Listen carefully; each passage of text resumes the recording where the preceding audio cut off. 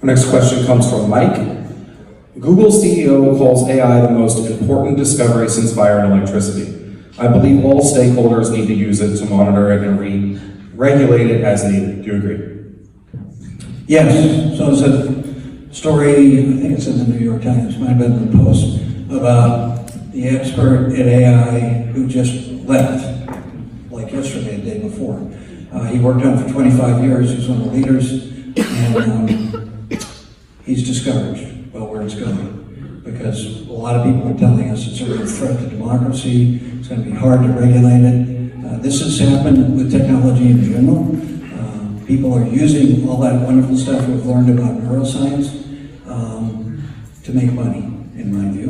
A lot of good writing on this. A couple of recent books, The Chaos Machine, really good on this. Um, Dopamine Nation by a Stanford researcher, and Who's Minding Our Kid by a Harvard researcher. Uh, so people are using what we're learning about the brain and technology, and most of it's wonderful, but this is the history of this country and most countries, is you've got to figure out what the ground rules are. Uh, on environmental issues and chemicals, uh, Europeans have the precautionary principle, we decided the opposite. So in that instance, you have to demonstrate that you're not going to hurt the environment. We, we come in the back end, and this is, goes back to what's called caveat emptor, which is Latin for buyer beware. The founders needed to have a really, they thought they needed to get people to come here and make it easy for people to start businesses.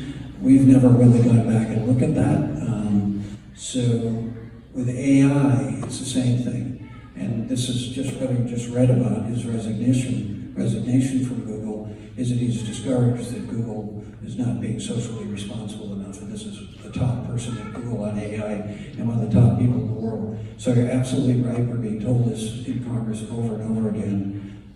You need to start getting caught up about artificial intelligence and its benefits and its downsides and where you have to regulate it um, and still have it be stimulated so that it can provide the benefits. Um, you know, all of us use GPS now. Wonderful. It helps with congestion, um, helps with traffic um, if you're using it properly.